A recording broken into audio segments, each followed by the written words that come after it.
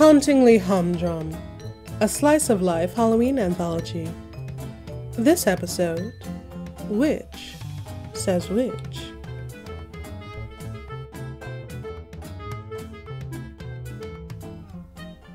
My grandmother used to tell me there comes a time in every young witch's life when they have to make a choice, an unshakable choice, a choice that binds them forever.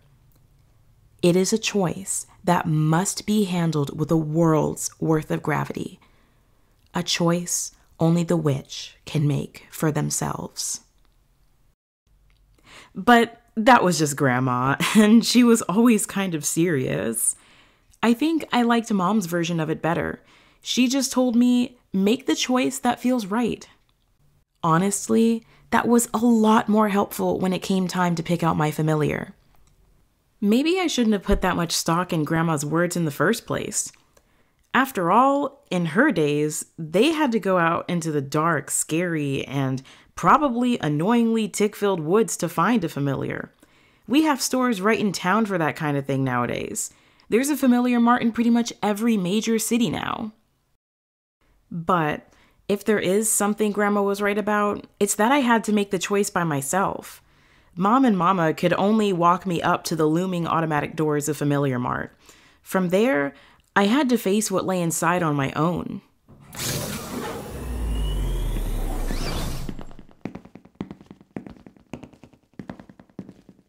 I remember it was dark inside, unnaturally dark.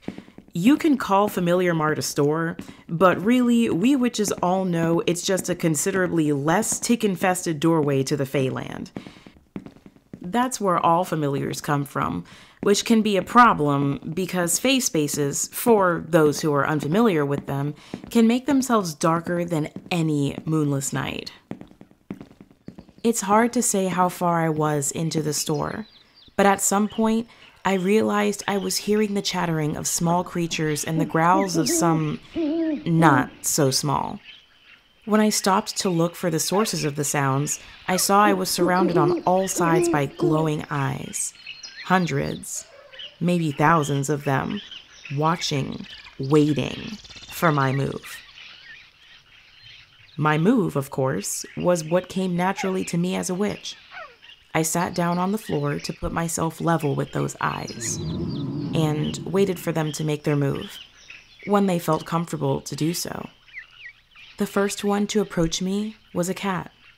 A fey cat, of course, and as it came closer, I could begin to see why there seemed to be so many eyes watching me from the darkness. There were at least five on the face of this cat alone, blinking unevenly as it walked up and sniffed at my sneakers. The cat apparently decided on its own that we wouldn't be a good match, and it was quick to slink back into the shadows. I was approached afterwards by an owl with four wings that came to rest on my shoulder, but was too restless to stay. A rat, also with four wings, that apparently took offense to the cookie I offered it. A blue fox with two heads, one of which seemed to like me, but another which kept pulling away, and who was I to break up a happy family? I feel like I saw dozens of strange creatures that night in the vast, empty Fey store. After perhaps the fifth Fey toad had hopped along, I really began to worry. Mama had told me I would know when the familiar felt right, but I was struck with the thought that perhaps I wouldn't even know what right felt like. What if I'd already missed them? What would I do if I didn't find them? Would I just be stuck in this store, interviewing potential familiars forever? But then, she showed up. A creature stepped out of the dark, lumbering toward me, the flowers and grasses growing amongst her fur rustling with her movement. And then she stopped, and there was just me and her, alone together, trying to decide if we were meant to have that unshakable bond forged between us as witch and familiar. I offered her a cookie. she ignored it and lumbered closer, settling down beside me and placing her head in my lap. And we both realized it had already been decided. We were bonded forever.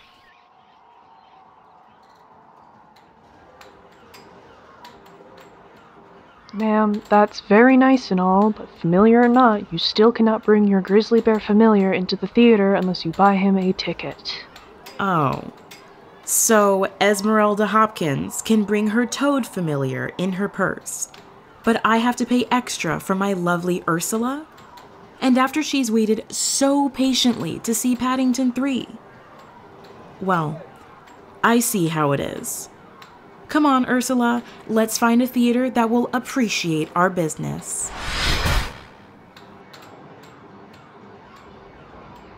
Why don't any witches ever just read the familiar policy in advance?